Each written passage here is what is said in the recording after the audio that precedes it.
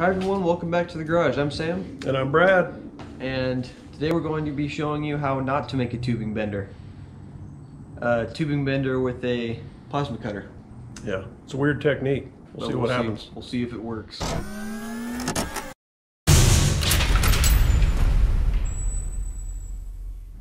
Okay, so we have a Klutch metal bender, and um, something that's really good for is bending flat metal. So like hooks and things like this, or bending strap to make brackets, and really, it's really good for this type of stuff.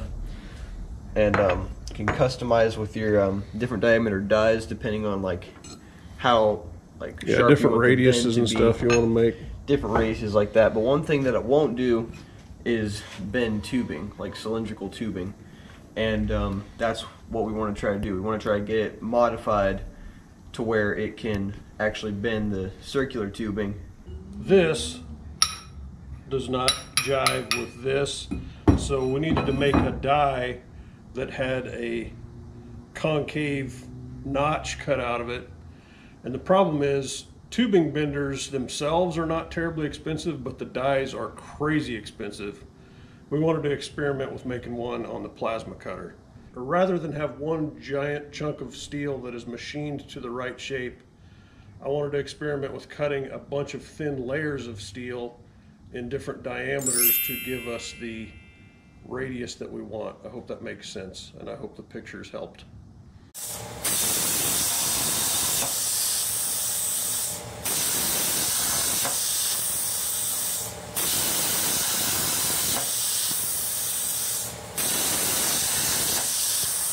Okay, here's a little bit more detail about how this thing is assembled. Uh, the die is made of a bunch of stacked up layers. You can see here I tried to get the diameter of each layer correct so that when stacked together it would match the radius of a one inch OD piece of tubing. Um, everything is just bolted together and the larger holes are so you can use the the pins from the original bender uh, so you can actually reposition it. It's also set up so you can bend a full 180 degree turn if you would like. I don't know if we'll ever need to do that but if we want to we can. And hopefully everything works as intended. Okay, so this is our victim.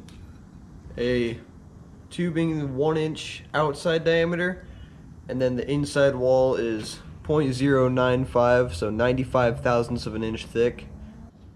Alright, so this is what he was talking about earlier with the tubing. We have all of these little layers, that way it's pretty tight with the tubing itself, so we should get a pretty good fit. Okay, so we've got the die here, but to bend tubing, you also need a follower that is the same size.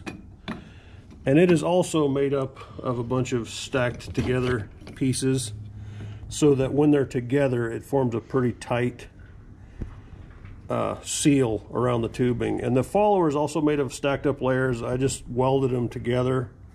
Um, that was kind of impractical to do on the die. I just bolted it together, but this is welded and hopefully it will hold up good enough and take the pressure of being smushed.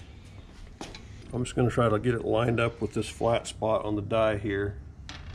And using the original format of the bender, I made this strap that will go around the tubing so you can bolt it down tight so it can't move. That's just a little 3 8 bolt. It's kind of tight quarters in here uh, as far as bolting and stuff because there's not a lot of space in the original die. It was, or the original bender, it was not really designed to do this type of thing. We are modifying accordingly. And we don't want this tubing to move, so I get this sucker clamped down pretty darn tight. Okay, now theoretically, if we yank really hard on this, it'll bend to that. We'll just have to try it. Okay, Sam's going to give it a go first. Um, we're going to attempt to do it with just the standard bar with no extra cheater pipe or anything. Uh, it's bolted to the bench, to our bowling alley bench, which is sort of bolted to the wall, so hopefully he doesn't just tip the garage over. Uh, we'll see what happens. I literally have no idea how much energy this will take. Let her rip, see what happens. Oh dang.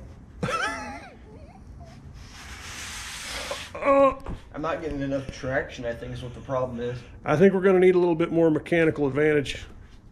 I think you'd be right. Take two with a pretty significant cheater pipe. See what happens. I'm not gonna lie, I'm a little I'm a little nervous. freaked out. I don't want to like yank it or anything. I think I need different shoes or something. Okay, Sam's got the strength, but he didn't have the traction. Uh, you know when you need traction, you put some weights in the back of your truck?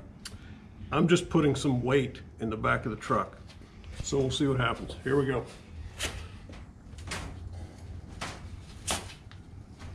It's working. Oh my God. We're getting some. Ah. Okay, here we go. Mother of pearl. Ah. Need a pretty wide area to do this. Ah. You think we're at 90 degrees yet? Oh, I think we're, yeah, we're just about there. Dude, it totally worked. But it works. Sure, you might need to go to the gym, but it works. This is the gym. I need a nap. I can see that it galled it a little bit right here. Must have a rough spot on my follower. But that's a minor problem. It wedges itself in there pretty tight. There it goes. Dude.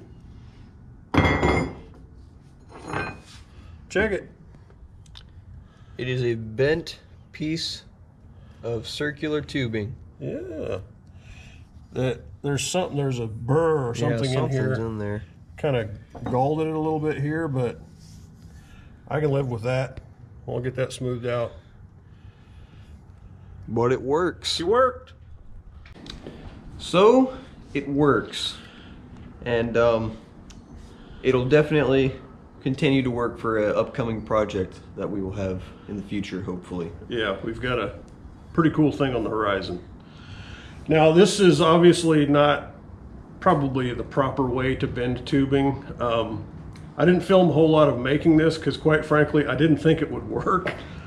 Um, but hey, uh, we used a plasma cutter and a little metal bender and made it into a semi-usable tubing bender. works. And the proof's in the pudding. Right here. Uh, thanks for watching, guys. If you would like to subscribe to our channel and see more of our content, make sure that you click the button somewhere on the screen. And um, also, there will be a link to our last video as well. Um, signing off for now. We'll see you guys next time. See ya.